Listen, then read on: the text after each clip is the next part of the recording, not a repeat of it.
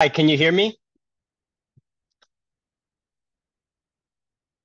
Hi, and Oh, sorry, you can. I need to be able to share my screen. If you can enable that. How do we enable sharing screen? Uh, okay. Then, We're just organizing that for you now, Michael. All right, thank you.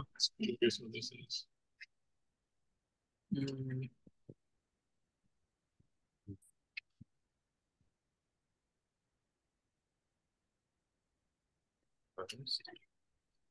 yeah, I think we can. Oh, I feel.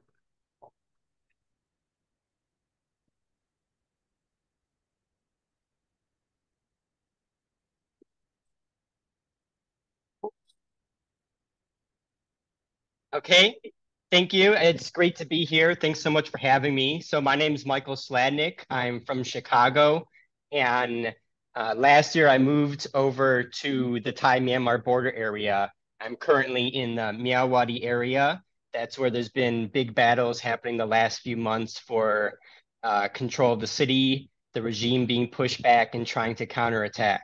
So I got involved in the revolution over there and have been active here and tonight, I want to talk a little bit about a recent trip I took to another nearby border area to Karenni, which is an area uh, that is close to liberation. So we visited a lot of the uh, current battlefronts and liberated areas. I went there with a journalist. I organized between them the, the local revolutionaries and translated for them. So before I talk about that, I have a lot to say about the Spring Revolution in general and a little bit about my involvement over the past three years. So uh, let me just start this. So I was a leftist for a long time in the US, and I became a leftist because I believe that this wave of globalization that was happening over the last decades was building up these dictatorships around the world, but also industrializing and creating a new international working classes around the world, and that we had to look forward to their uprisings and prepare for them. Uh, so I was always following different revolutions happening around the world. And when the coup happened in Myanmar, you know, I didn't really expect much of it because I knew that this was a country that had repeated revolutions which are crushed and finally achieved a very weak democracy which you know had a genocide uh, and very little pushback against that genocide. So you know i had no connection with myanmar. I never been there. Uh, i didn't know any burmese people but i did not think that this would succeed. And the past revolutions started by students or the one in 2007 by monks and this one got started differently. It started with the public sector workers, here teachers. They, a few days after the coup, they went on strike against it. Other public sector workers, here medical workers, train workers, public employees, all said they're not going to work under the coup regime. And then this spread to the factories. So the decade of semi-democracy in Myanmar saw all this export-oriented garment and other low wage labor factories, staffed largely by migrants from the countryside, from the villages. Myanmar is still predominantly a rural country. So these largely female migrant workforce, they started to protest against the coup. Meetings were happening. And they decided to join the strike against it. And they really built, they it was from these factories that they built a general strike. They pushed for a general strike. And that's how by the middle of February, mass protests grew out of this this working class movement. And in Yangon and other big cities, you saw the immense demonstrations break out. So the regime, the military dictatorship tried to crack down and people fought back bravely. You know, this is one of the largest militaries in the world and people in the cities did everything they can to fight back. Uh, they built barricades in different cities to prepare to confront the police and the soldiers.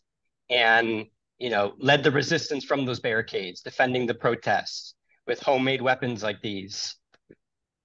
You know, so the protests kept going on, uh, starting to arm themselves. And they knew that the time was urgent. So at the same time as the protests were continuing, they're pushing to spread the revolution. The three finger salute that came from Thailand protests for the year before. So they were trying to spread this into an Asian spring. And here you see protesters marching. That's the Chinese border gate, trying to spread the protest for democracy to China. So the regime eventually cracked down to this. They upped their force. They cracked down brutally using real ammunition, shooting into the crowd, shooting at the barricades, blowing them up with bombs. And many martyrs were lost. You know, people, these young people, this generation who had vowed to fight for democracy, lost thousands of people. You know, this was all within a two month month period. You see, from having a normal life to protesting, to being on the barricades, to being a martyr. And in particular, they cracked down on the factory district, Hlaingthaya in Yangon. They slaughtered hundreds of these shop floor union activists, especially women, you know, factory activists. And it seemed at that point like the revolution could be defeated. That was at the point when the mass media, Myanmar basically mostly dropped out of the headlines. And in the past, these past revolutions, the regime had cracked down like that and the revolution had been defeated. You had some people like in 1988 starting to go up to the hills to try to fight back, but that might have been it, just a small number of people going to join fight in the hills. But this time was different. Myanmar had changed a lot. And just as it was falling out of the headlines and uh, you know the urban movement was facing oppression an even even larger and more powerful movement was just beginning. And you know throughout as the crackdown is happening in the cities people are flowing out of them. Hundreds of thousands of people this migrant rural workforce is going back to their villages. These women factory workers and other activists, and they're starting to mobilize the population there. So, you know, you could see here these these women activists leading in the cities people saw this as themselves. They were they were their sisters their brothers their cousins their friends who were in the cities leading this protest. And there was a huge explosion of anger when that crackdown happened on the the working class in the cities. And meetings started to be held. And this erupted into huge mass movement. So, you know, the rural areas of Myanmar had sat out of all past revolutions. They had not participated. And this time, when the regime tried to crack down, they sparked for the first time in Myanmar's history this huge upheaval of the masses in the, in the countryside. Um, and you had in these quiet little towns where nothing ever happens, you know, that no one has ever heard about and no one visited huge demonstrations breaking out everywhere. You know, so this was as things were already, you know, being crushed in the cities. And the mobilization to this went down to every village in the country. It went down all the way to the grassroots. And you know, these people from every village, they had working class, everyone on the internet. So they were all plugged into what was happening this time. And it spread to the minority areas. You know, Myanmar is dozens of different ethnic groups. And this the protests, even after the urban crackdown, you saw in all these minority areas, people still protesting, still rising up where they could. And even there, you know, it was the working class that was at the head of this movement. These women and other, you know, people with experience in the factories, uh, in the urban protests were coming back to the countryside and leading the protest there, leading it in the small towns. And teachers, you know, also urban rural teachers unions, teachers, the, the civil disobedience movement strike said that they're going to refuse to work under the regime. They spread to those areas. And students, most students across the country also stopped attending classes from kindergarten through university and up to the present day that is still the case you know, a lot of a lot of other areas that had some industry, like here miners, they were centers of this uprising and it swept across the countryside. So this was a really liberating moment. Uh, you know, that the world was was missing. They weren't they had stopped paying attention to Myanmar, but there was this movement of these people who had never fought back before for the first time standing on their feet and saying they're not going they're not going to go back to dictatorship and it was at this time that I really realized that something historic was happening here. This was not just another movement that was going to, you know, pop up with all this hope and expectation and then get crushed and disappear. People uh, you know, I was already starting to meet people from Myanmar on Facebook. Everyone's on Facebook. And they were saying, you know, we have history of this. We have had many failed revolutions, so we know what it's going to take. It means to fight against the military. It's not going to be easy, but this time we can't give up. We're going to fight. So, you know, it this time that I really said, I got to find some way to support them, you know, whatever that takes. And the regime started to crack down on these rural protests too. But when they did, people fought back. They started to assemble, you know, thousands of of groups or all over in different areas, thousands of self-organized autonomous groups getting together, young people, a whole generation of young people with no arms, starting to make homemade bombs, homemade guns, training themselves to fight back. And you can see here, so, you know, just as the world was ignoring Myanmar and the middle class and the rich who hated the coup, you know, were giving up and feeling hopeless. You had this rural proletariat, this Gen Z, flocking to the banner of the revolution, saying they're going to fight for it, and you know, going with whatever homemade weapons they have to fight it. And you could see what type of people they these were who were fighting, what type of guns they have. This is one of the, you know, the captured from one of the first big battles in the middle of the country, this heartland of the uprising you know, normal people, men and women. These are, you know, t- PDF, People's Defense Forces taken a prisoner of war. They're regularly tortured in prison. And the regime releases these pictures. They have they don't care about public image. You know, they release picture of this of captives giving the three finger salute. They don't expect you to consent to the rule. They don't have propaganda. You just have to submit. So despite losing many people, despite that not having weapons to fight back, the resistance took over a large area of the country. And you can see this map, the red and the blue areas controlled by resistance forces and ethnic insurrection. In fact, the red area should be much larger. The resistance controls most of the countryside. It's just very difficult to map. So even, you know, this is my wife here. She was uh, working in Yangon at the time. And you know, when there was the fight back in her native area was successful, she went back. She had confidence. She wanted to fight the regime, and you had a new wave of people going back, giving up their careers, going to fight. You had other people going up to the borderlands, the jungles, to join the ethnic minority groups, and the ethnic minority armies expressing confidence the revolution, saying they're going to fight on side of it. They're going to put their future in it, and that resistance kept the protest movement going, the civil protests in, in the countryside. In any area where they're able to organize, they kept protesting. So it wasn't just an armed struggle. You had demonstrations continuing every single day all over Myanmar for months and months after it disappeared from the headlines and the urban protests were crushed.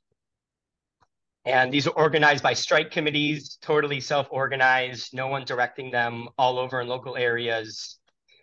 Uh, you know, young generation of people and, you know, giving speeches every day, organizing protests, rallying, you know, their support for the revolution and, you know, organizing, mobilizing the communities as part of it. You had, you know, people who experience with the unions continuing to be active in that. And their message they were trying to put out, these protests, was one of that this revolution was a consequence of Myanmar's history to fail.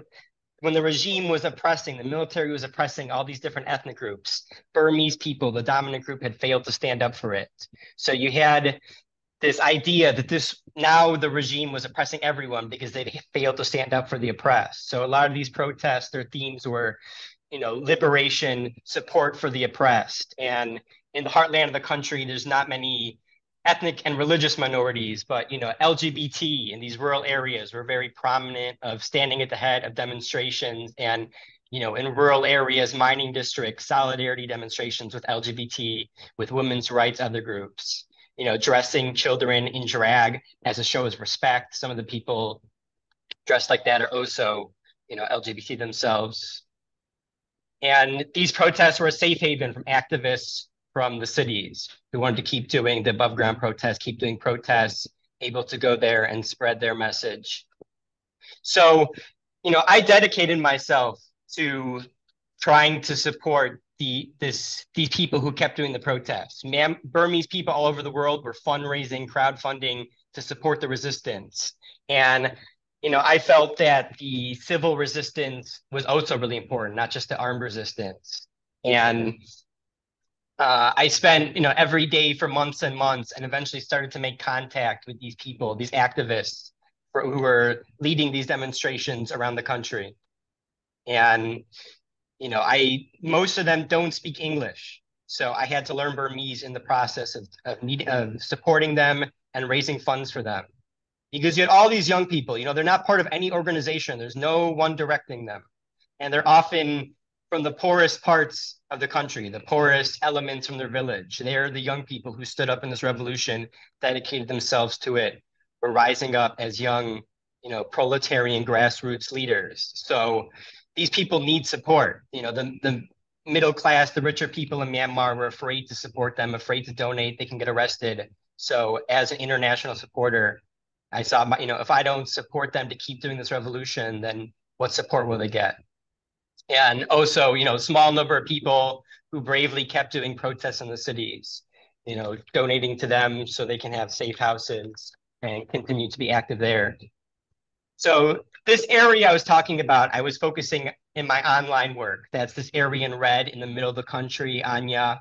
And i was especially focusing on the black circle within that where a lot of the protests were happening and by mid 2023, my Burmese was good enough just from doing that work and talking to them every day online that I wanted to come to the region and do more. You know, I really felt lucky to be able to meet these people, know these incredible people to support them. So I came down to that green area down there, the Thai Myanmar borderland, to try to work with activists from the ground. And my trip I'm going to tell you about now is in this blue area in the middle, another borderland area, uh, Karenni uh, you know, that I, I took a journalist to who is very active on bringing news about the ongoing resistance gains against the military on Twitter. And he wanted to report from the actual situation on the ground so people on Twitter can know about that, uh, you know, can get the actual insight from the people. So Karenni is a lot like the area that I had experience with. It is an area which was one of the centers of the mass movement in 2021. These mass protests erupted and, you know, unlike the other pictures I showed you of, which were from Burmese, Bamar ethnic areas, Karenni is very multi-ethnic, very uh, diverse, different ethnic groups, different religions, many different languages. But it was another center of this protest movement. And it was also the first area where people really started to fight back, where the regime focused on them at the beginning and tried to crack down. And here you see them destroying a police station, and they fight back they fought back in like you know May June 2021 against that crackdown with whatever homemade weapons they have, organizing across ethnic lines uh, as part of the Spring Revolution to fight back. So you know, despite that difficult starting point of not having arms, now you see the map here. They've almost completely liberated Karenni. Uh, there's only a few regime holdouts left remaining. So we wanted to go there and see what the situation is. And Karenni, it's an extremely beautiful landscape. Uh, but after three years of revolution, it's been devastating. There's destruction, ruins everywhere. You see here cities, the regime uh, specifically targets, you know, civilian areas, driveway civilians, trying to punish them for doing the revolution. It's being pushed back by the resistance and takes it out on civilians. And in the rural areas as well, you know, there's not a single village in all of Karenni State that has not been bombed. Everywhere we went, ruins, burned down villages, destruction everywhere. And the people of Karenni are relegated to, largely relegated to refugee camps, hiding in ravines, women, children, elderly. So these refugee camps, people, even if their areas have been liberated, they can't return to them. When the regime was occupying their areas, they planted bombs in their housing. So when people come back, they're blown up. They continue to target them with drone strikes to terrorize civilians. And the land is all fallow. They don't have support to come back and reestablish uh, their economy and start living again. On the Thai side of the border here, we saw huge, enormous abandoned refugee camps where tens of thousands of Karenni people have been. And the Thai government forced these people back across the border into the fire zone with no assistance. Uh, you know, internet is cut off on these areas. They there's very few news reports about what's happening. They have difficulty even contacting other Burmese people for support. So you have people living in these shelters. They don't even have proper rain covers. That's not waterproof. Uh, with the monsoon season a, a, few months away, all they have to eat is rice, no cooking oil, no onions, uh, nothing to protect them from the rains, not even malaria medicine, you know, for when they get sick. And it was this, these people who have sacrificed everything for democracy through their own efforts, despite not getting support, they have fought back and taken control of of most of Karenni, liberated most of it. The, you know, sisters and brothers and mothers and fathers of the people in the camps are the ones on the front lines fighting. And they're doing their best to support the refugees at the same time as they're dependent on the civilian population for support. It's, you know, a real, uh, there's many different groups. They all have to fund, crowd fund for themselves. They're all dependent on local contributions. So you see here, fighting in urban battlefields, they just have flip flops. They can't even afford shoes real uh, uniforms. Despite that, they've you know continued to make major gains. So here in Messe in the south, uh, Messe police station, which was liberated a few months ago, it was the last holdout of the regime in the south of the state. Uh, and PDFs, you know, besieged it and took it over a few months ago to liberate the southern area. Over 20 police died in the battle, their uniforms and their bulletproof vests are still in the rubble, and turned at least the south of Karenni into a refuge for these civilians. So here we visited a mountain camp of the regime that was just taken a few weeks before we arrived. Uh, almost 100 regime soldiers died there in the capture. The, the PDFs, the revolutionaries successfully captured it. In the, the past, their corpses were still laying on the ground. In the last picture, you can kind of see one, uh, and there the commander's corpse, you know, a lieutenant commander, that's his badge, came from him. So the regime is suffering major losses. That's the second last camp the regime holds in the mountains. Now the PDF is moving on to the last one. Uh, here, you know, with the with this lack of support, they have the whole population trying to fight back, but they have major limitations. So here, a major bridge they just captured also a few weeks before we arrived. And when they use the guns and ammunition they have to take those, every battle they face, because they don't have outside support, after they take a position, they have to stockpile, spend a long time stockpiling ammunition before they're ready for the next battle to assault the next point. And in the meantime have to expend all these resources to feed everybody to care for the refugees. And you know everyone kept saying if they just got outside support these last few battles could be over immediately they just don't have enough ammunition to finish it uh, so you know how it was there the way these groups are organized is every everywhere we went every different base we visited every camp had multiple different groups, like four or five different groups sharing one base. And these are people from all different areas, all different languages. So in addition, the Karenni ethnic group is like 10 or 12 different groups. They all speak different languages. In addition to that, there's many Shan people in Karenni that's related to Thai. There's Burmese people. There are Karen people. Uh, so a very diverse area, Muslims, Christians, Buddhists, and they're all organized in these different groups. And everywhere we visited had many different groups working together. Um, you know, under the chain of command, under the NUG's chain of command, but not really receiving any support from the NUG. All these battles I just showed you, the police station, the bridge, they took that with their own resources, not with NUG money. So they loyal to the NUG, but the NUG has no one there, no official to control them. These are just normal people who are organizing to fight back and organize into all these different groups, but coordinating, all working together. So sharing drones. drones, a lot of them they built themselves, are very important for these battles to give them a fighting chance. All these different groups, different ethnic groups share drones together. Here's from a cooking camp. They share single cooking camps, um, places cooking for all the different groups. Um, and you know, also bringing in, this is from a uh, a regime base that defected a few months ago. We stayed there at night, so the soldiers joined. You can see they're pointing in the guest house. Min Aung Hlaing's picture is still on the walls there. Visiting there was the one time going into that I was a little afraid on the trip, but here a soldier who defected from the military dictatorship to the base who let us in. He has three sons fighting, all fighting in the resistance. So when I heard that, you know, I was more at ease. Um, and different EAOs here, KNPLF, that was kind of a regime, Uh, a EAO, an ethnic armed insurgent group, which had had an agreement for decades with the regime. Just a few months ago, they joined. They went over to the side of the revolution, and there we saw them all working together with the PDFs.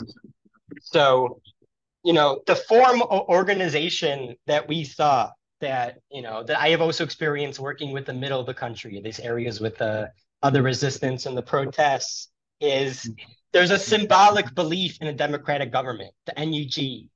But the NUG doesn't really do anything. Uh, it doesn't, it's not funding these groups, it's not controlling them. So people just have a symbolic belief in democracy and democratic values. And with that belief, uh, and that dedication to fight back, they're able to organize themselves in all, into all these dozens and hundreds and thousands of autonomous groups, which have their self-organization, but are all able to cooperate with each other because they are all dedicated to democracy and social justice. And you know, everyone we talk to has said that's what we're fighting for. We're not fighting for this to get anything for ourselves. We just want our rights back and we're not just fighting for Karenni. After Karenni, we're going to go on and fight for Naypyidaw, for the capital, the regime capital, which is nearby Karenni, and that this is part of a global struggle against fascism. So there's me in Pasaung, which is a major city where the battles are happening now, able to go up right to the front lines. The regime is surrounded, siege in their last base there. There's me again in village with some PDF. Uh, the, at the Messe police station, and that's the journalist we took who was doing the reporting from there. You see displaying the regime flag, the hated uh, Myanmar dictatorship flag of the old fake fake democratic constitution. So, you know, I believe that this is a you know, these people are on the front lines of a gro- global struggle against dictatorship, against the rising forces of fascism. And it's important for us to support them. They need the left support. There's nobody else helping these people. And even, you know, people who have better jobs, who have money, who are wealthy in Myanmar are afraid to support them. So it's the working class people and the poor who are on their own for the past three plus years, no government, no NGO has helped them. Uh, and they are just, you know, dependent on their, if they got that help, they would make the biggest difference. They kept saying over and over again, if they just had a little more money to buy ammunition, then they would really be able to liberate Karenni for people fleeing the military draft who are starting to arrive for all different ethnic groups and turn into a base to bring this revolution to the next level. So, you know, I encourage people to do what you can to support the Myanmar Spring Revolution. And, you know, I did it by meeting my local Myanmar community, uh, Myanmar people all over the world. They're the ones who are funding this and keeping the struggle going. So talk to Myanmar people at that meeting and from wherever you're from about how to get involved. And, you know, if you would like another way to donate, you can go to this Facebook page we are doing a, a campaign to raise that support for Karenni, right directly for the people on the front lines we met. And it's been a very difficult last month here since I returned uh, in the Karen state, the Myawaddy area.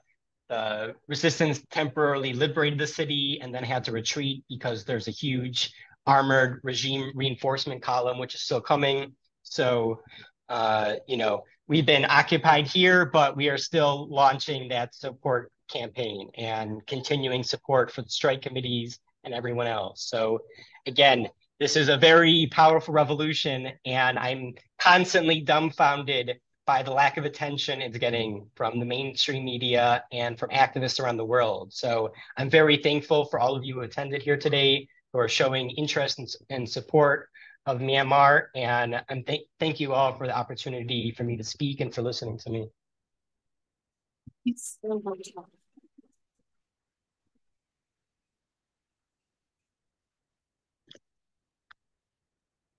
Thank you so much. My name is Katrina here um, at House Conspiracy, which is an organizing space here in Brisbane. And uh, we've got a, uh, a, a really beautiful group of activists here who have listened um, and really taken on board what you said. So thank you so much.